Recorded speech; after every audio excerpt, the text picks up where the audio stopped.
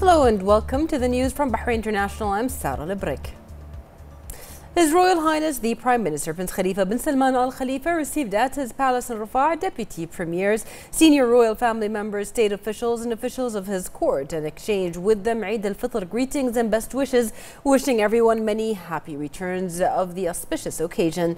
His Royal Highness extended heartfelt congratulations to the citizens and residents on Eid al Fitr, wishing them many happy returns and praying to Allah the Almighty to bless the kingdom with everlasting security, stability, and prosperity under the leadership of His Majesty King Hamad bin Isa Al Khalifa. His Royal Highness the Premier expressed deepest appreciation to dedicated Bahrainis who have provided the best examples of sacrifice and loyalty to the nation through their commendable efforts to confront the novel coronavirus COVID 19, extending Eid greetings to frontline heroes who are facing the pandemic.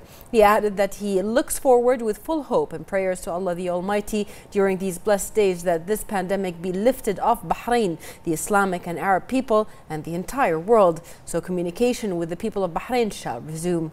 His Royal Highness uh, the Premier underlined the importance of consultation, discussions, and follow up on the latest regional and international developments, especially with regards to the spread of the coronavirus, with its impact on the economic, social, and political fields.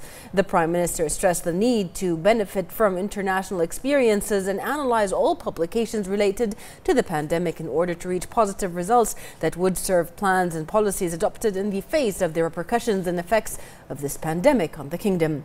His Royal Highness the Premier lauded Bahrain's sense of responsibility and awareness, which are the means to confront the pandemic and contain it, noting that complacencies and lack of commitment to following the precautionary guidelines and preventative medical measures have been and still are the most important reasons for the increase in infections and the spread of the coronavirus on a massive scale in many countries.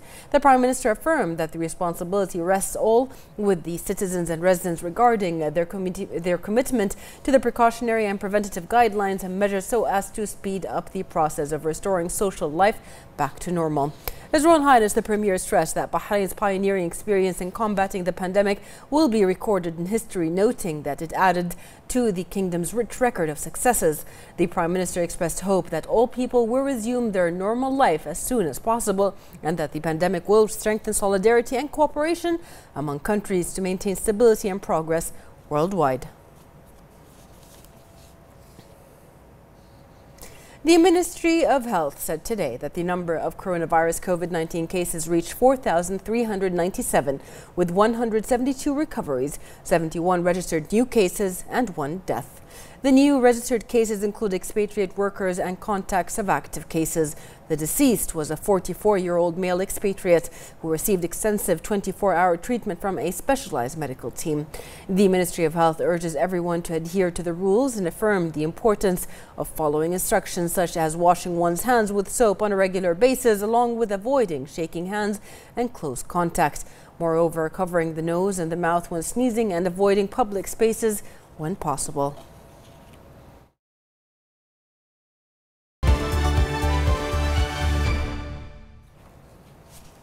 In our international news, Saudi Arabia recorded a steady increase of 2,235 new cases over the past 24 hours, raising the total to 74,795. And the health ministry also reported 2,148 recoveries, bringing the total number of recoveries to 45,668 so far. Meanwhile, nine people who had previously tested positive for the virus have died due to complications. The relatively low death toll stands at 399. According to a health ministry spokesman of the new cases, 27% are female, while 73% are male.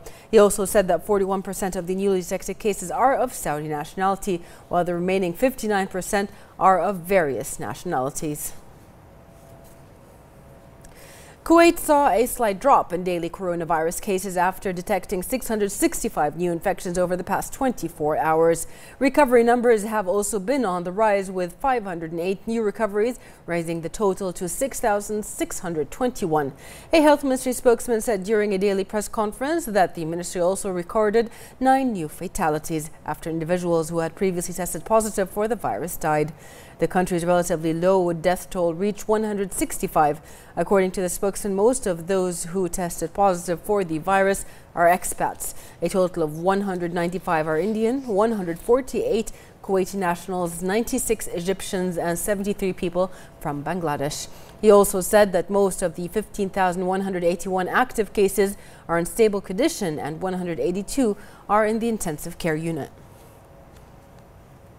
The UAE has recorded 781 new coronavirus cases overnight after conducting an additional 35,000 tests the, bringing the country's total number of known infections to 29,485. The health ministry said that there was also one fatality overnight, raising the death toll to 245. But 561 people, meanwhile, were cleared from COVID-19 infections, raising the number of patients uh, in recovery to 15,056. The UN Migration Agency said that Libya's Coast Guard intercepted about 400 Europe-bound migrants off the country's Mediterranean coast over the past two days and brought them to the capital of Tripoli where they were taken to a detention center. A spokeswoman for the International Organization for Migration said the migrants were taken to the Al Nasser detention center in the town of Zawiya, west of Tripoli. He said that uh, departures from Libya have increased, which is especially worrying amid a sharp decrease in search and rescue capacity.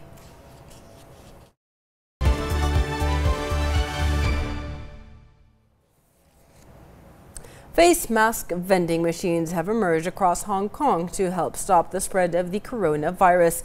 A new project called Mask to Go has been rolled out across the city with 37 vending machines installed in 17 different NGO buildings. People have registered to receive a contactless redemption card with a unique QR code. The smart card system allows each NGO to monitor the refill of masks in the machine and enables them to work out how much stock is required. The mask dispenser initiative was set up by Hong Kong property developer New World Development. New World Development has also set up their own production line to manufacture medical face masks.